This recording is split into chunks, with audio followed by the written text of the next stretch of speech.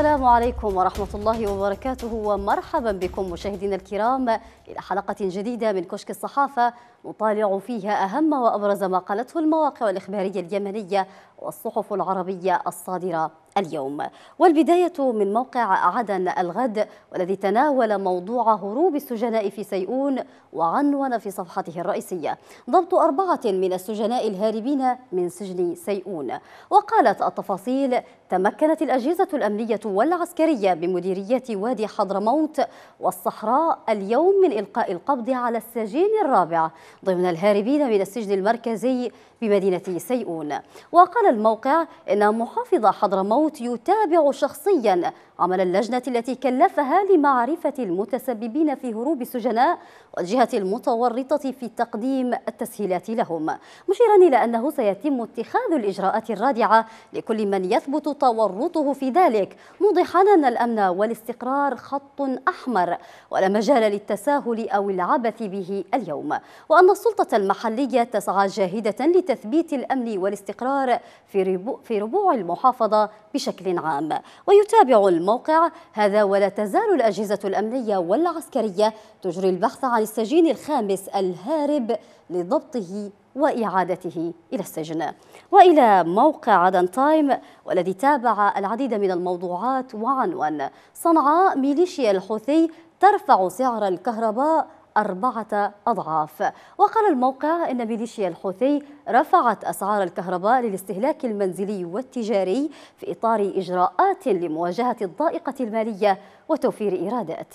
وأكد مسؤول في مؤسسة الكهرباء بصنعاء أن جماعة الحوثيين التي تسيطر على المؤسسة أقرت رفع أسعار فواتير استهلاك الكهرباء إلا أنها لم تعلن ذلك بشكل رسمي. وأوضح المسؤول أن جماعة الحوثيين بدأت تحصيل فواتير استهلاك التيار من المحلات التجارية والشركات والمواطنين بالأسعار الجديدة والتي تشمل أيضا فواتير الاستهلاك المتأخرة عن الفترة السابقة منذ منتصف عام 2014 عن توقعاته لسير المشاورات وعن موعدها كتب مستشار الرئيس نصر طه مصطفى وقال الكاتب واجه الرئيس اليمني عبد رب منصور هادي وحكومته ووفد المشاورات في الآونة الأخيرة ضغوطا هائلة غير مسبوقة لتمرير الانقلاب والقبول به. ويأتي مشروع البيان الرئاسي الأخير لمجلس الأمن كذروة لهذه الضغوطات. فهو على رغم إشاراته للتمسك بالقرارات الدولية الصادرة في شأن اليمن وفي مقدمتها القرار 2216 الصادر تحت الفصل السابع إلا أن مضمون البيان في خطه العام كان أقل حدة تجاه الانقلاب ويتحدث عن ضرورة الإسراع بعمل تسوية سلمية من دون أن يتحدث عن ضوابطها ومرجعياتها ومتطلباتها التي تجعل منها تسوية سلمية مستدامة وليست مؤقتة. وكان يفترض بالمشروع في حال صدوره أن يقف أمام أسباب التعثر التي حدثت في مشاورات الكويت في شكل متجرد وموضوعي وأن يحدد من المتسبب في هذا التعثر. لكنه مضى باتجاه إلقاء العبء في شكل أساسي على الحكومة المنتخبة وليس على الإنقلابيين الذين دمروا كل ما تبقى من مقومات الدولة في اليمن. الأرجح أن المشاورات ستتأجل بضعة أسابيع لمزيد من التأني في الإعداد الذي طالب به الرئيس هادي وحكومته. ولا شك في أن الحكومة اليمنية على حق في ذلك بالنظر إلى حصيلة الجولة الأولى التي استمرت سبعين يوما ولم تسفر عن أي تقدم بسبب الاستراتيجية الثابتة للإنقلابيين المتمثلة في ضرورة حضور المشاورات والاستفادة منها في تعطيل الحل واختلاق المعوقات والاستفادة من الوقت في تثبيت الأوضاع الراهنة على الأرض وتغيير بنية الجهاز العسكري والأمن والمدني للدولة اليمنية برفده بالآلاف من عناصرها العقائدية وفرضها كأمر واقع على أي حلول سياسية مقبلة تجعل منها في حكم المستحيل فكل ما قضت الميليشيات يوما إضافيا في سيطرتها على العاصمة ابتعدت المسافة أكثر عن إمكانية الوصول إلى حل سياسي عادل ومستدام. إلى موقع التغيير نت والذي عنون في صفحته الرئيسية بن دغر يصدم الانقلابيين من عدن ويعجل بسقوطهم. وقالت التفاصيل تفاجأت ميليشيا الحوثي وصالح بقرار صادم من قبل رئيس الوزراء حيث أعلن وقف إرسال الإيرادات إلى البنك المركزي بالعاصمة صنعاء والتي تسيطر عليه الميليشيات. وأكد بن دغر الحكومة لن تستمر في إرسال هذه الإيرادات الخاصة بالمحافظة من الجمارك والضرائب والموانئ وغيرها إلى الميليشيا الانقلابية التي تسيطر على البنك المركزي في صنعاء الفاقد للحيادية والواقع تحت النهب وإلى موقع الموقع بوست والذي تابع إحدى الموضوعات وعنوان لماذا يسارع وفد الانقلاب للمشاورات بينما علق الوفد الحكومي مشاركته؟ وقالت التفاصيل تسبب انعدام الثقة بين وفدي الحكومة والانقلابيين الحوثي صالح في تأجيل الجولة الثانية من مشاورات السلام التي كان من المقرر انطلاقها الجمعة في دولة الكويت ليهيمن الانسداد على الجولة المرتقبة قبل أن تبدأ جلساتها كالعادة. ويرى مراقبون أن الحكومة اليمنية تخشى من الذهاب إلى مفاوضات الكويت والتوقيع على اتفاق سلام مع الحوثيين تضمن مشاركتهم في حكومة وحدة وطنية وتحولهم إلى سلطة قبل الانسحاب من المدن وتسليم السلاح الثقيل للدولة كونهم سيمسكون بمصدر القوة. وينقل الموقع عن أحد الصحفيين المتابعين للشأن السياسي قوله يبدو واضحا مبالغة الحوثيين في احتفائهم بعودة وفدهم للكويت وتحمسهم له بذات القدر الذي كانوا يتعاملون به مع أخبار انتصاراتهم الميدانية وصواريخهم وكتائبهم التي أسقطت المدن السعودية. ولا يظهر ثمة سبب, ثمة سبب لهذا التحمس سوى ردة فعل لموقف الحكومة من العودة للمشاورات. مفاوضات مطاطة تقترب من نقطة النهاية. تحت هذا العنوان كتب علي الفقيه مقاله المنشور في المصدر أونلاين وقال الكاتب. على الرغم أن الضمانات التي أعلنوا عن تلقيها لم تبدو حينها أمرا جديا إلا أن سير المشاورات وطريقة إدارتها أوضحت بشكل كبير ألا رغبة لدى الأمم المتحدة والدول الراعية لعملية السلام في اليمن في الضغط على الانقلابيين لتقديم تنازلات حقيقية من أجل تحقيق السلام.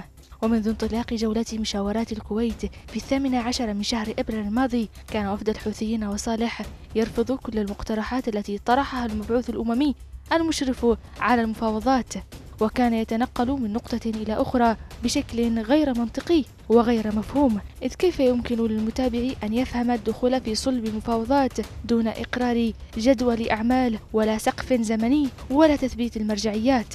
بينما كان وفد الحكومة الشرعية على الطرف الآخر من الطاولة المائلة يوافق على كل النقاط والمقترحات ابتداء من مقترح جدول الأعمال وانتهاء برؤية ولد شيخ التي تتضمن تقسيم الفريق إلى لجان. ومناقشة متزامنة وتنفيذ متزامن لبنود القرار 2216 متخلين عن تمسكهم بفكرة المناقشة والتنفيذ التسلسلي لبنود القرار التي تبدأ بتسليم السلاح وتنتهي باستئناف العملية السياسية من حيث توقفت. الخلاصة أن الجمود الذي يشهده الميدان وعدم إحراز طرف الشرعية تقدما ملموسا خلال الأشهر الفائتة يمنح الانقلابيين نقاط قوة ويعزز قناعة المجتمع الدولي بضرورة ابتكار حلول تنهي الوضع القائم في اليمن. ولو كان نتيجة ذلك الانتفاض أو الالتفاف على القرار الأممي 2216 والذهاب نحو الضغط لتشكيل حكومة وحدة وطنية والبدء بعد ذلك في التحايل على نقاط الانسحاب من المدن وتسليم السلاح. موقع المصدر أونلاين قام بنشر تفاصيل عن اليمني الذي وثق لحظة مقتل شاب أمريكي على يد الشرطة في الولايات المتحدة وعنوان الموقع. الشاهد اليمني بحادث القتل العنصري في لويزانا الأمريكية يقاضي الشرطة. ويقول عبد الله مفلحي وهو صاحب متجر في أمريكا عن طريقة تعامل الشرطة معه. ألقوا بي في المقعد الخلفي لسيارة الشرطة لمدة أربع ساعات تقريبا. وكان الجو حارا وكان كرسي الجلوس ساخنا. ويضيف مفلحي أن الأمر كان محرجا حيث ظن كثير من الناس أنني معتقل أو أن لي علاقة بما يحصل. ويورد التقرير نقلا عن مفلحي قوله إنه وضع في سيارة شرطة لساعة أخرى في مرآب السيارات التابع لمتجره ثم أخذوه لمحطة الشرطة للاستجواب. ويضيف أغلقوا علي في غرفة بمعزل عن بقية الشهود وسمحوا لي بالخروج لأدلي بشهادتي ثم ألقي بي في المقعد الخلفي لسيارة شرطة أخرى أعادتني مستدركا بأنه لدى عودته وجد أن عناصر الشرطة وضعوا شريطا حول المتجر ومنعوه من الدخول. وإلى موقع يمن مونيتور والذي حمل العديد من العناوين التي تناولت أيضا العديد من الموضوعات السياسية حيث أورد الموقع على صفحته الرئيسية مسؤولان يمنيان لا محادثات حتى اعتراف الحوثيين بشرعية الرئيس هادي. كما عنون الموقع أيضا المقاومة تقول إنها قتلت 16 حوثيا في مواجهة نهم شرقية صنعاء. وعنوان, وعنوان الموقع على صفحته الرئيسية التحالف يشن سلسلة غارات على الملاحيظ وقتال عنيف على الشريط الحدودي مع السعودية. وقبل مطالعة أهم ما قالته الصحف العربية الصادرة اليوم نذهب إلى فاصل قصير ابقوا معنا.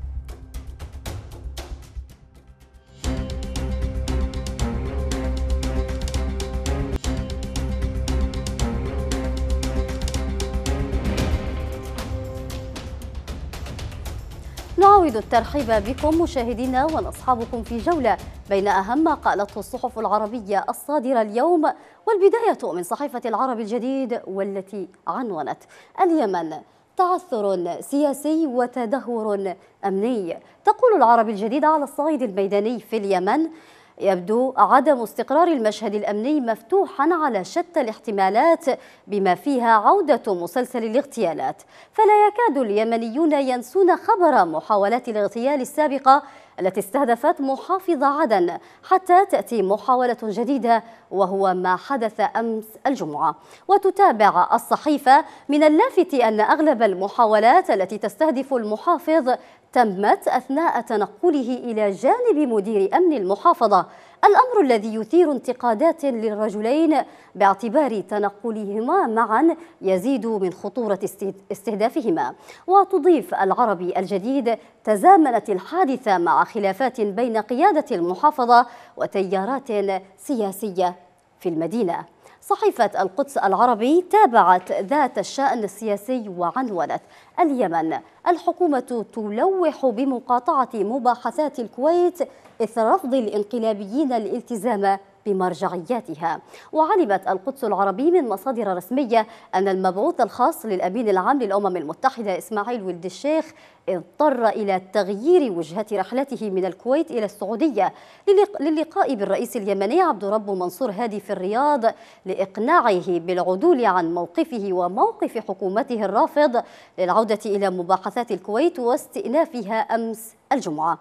تتابع الصحيفة جاءت زيارة المبعوث الأممي إلى الرياض بعد تهديد الرئيس هادي سلفا بعدم العودة إلى مباحثات الكويت وتدشين التصعيد العسكري الحكومي من مأرب واشتعال المواجهات خلال اليومين الماضيين في الجبهات المحيطة بالعاصمة صنعاء. وفي شأن متصل قالت القدس إن هناك اتفاقا في الرأي بين الأمين العام للأمم المتحدة بان كيمون وعادل الجبير وزير خارجية المملكة العربية السعودية على الحاجة الملحة لتركز محادثات السلام اليمنية على النتائج والاتفاقات القابلة للتنفيذ على أرض الواقع. وإلى صحيفة الحياة حيث عنونت الجيش يطرد الحوثيين من موقع يطل على باب المندب. وقالت الصحيفة استمر الجيش اليمني في التقدم الميداني في جبال نهم شمال شرق صنعاء بعد تمكنه من طرد مسلحي جماعة الحوثيين وقوات الرئيس السابق صالح من مواقع استراتيجية مطلة على مضيق باب المندب بدعم من طيران التحالف العربي. وتقول الحياة إن غارات للتحالف طالت مواقع وتجمعات للمتمردين في مأرب والجوف وصعدة ونهم وأفادت مصادر المقاومة في جوف بأن عشرات القتلى والجرحى من الحوثيين وقوات صالح قتلوا في غارات استهدفت تجمعا لهم في مديرية برط العنان غرب منطقة الشغيف حرب العراق لم تكن إلا البداية. تحت هذا العنوان كتب علي الصالح ما قاله المنشور في صحيفة القدس العربي وقال الكاتب.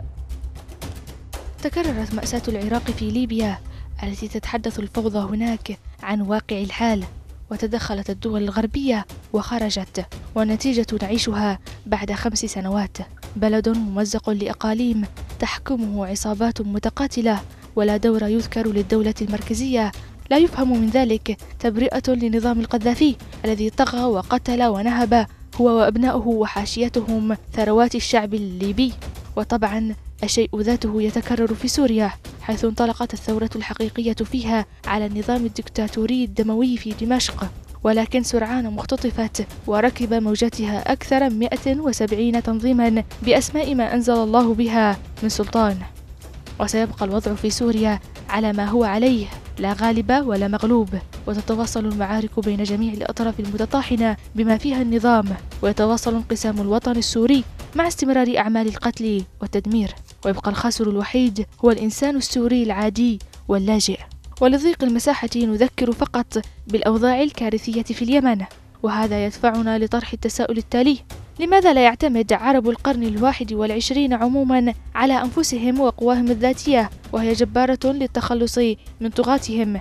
وكيف وبدون حياء يطالبون الولايات المتحدة علنا وإسرائيل خفية العون لتخليصهم من أنظمة هي صانعتها وتعمل على بقائها خدمة لمصالحها؟ راح الزمن الذي كان يتستر فيه عملاء أمريكا وجاء الزمن الذي يتفاخرون فيه بعمالتهم لها وحتى لإسرائيل. بئس هذا الزمن.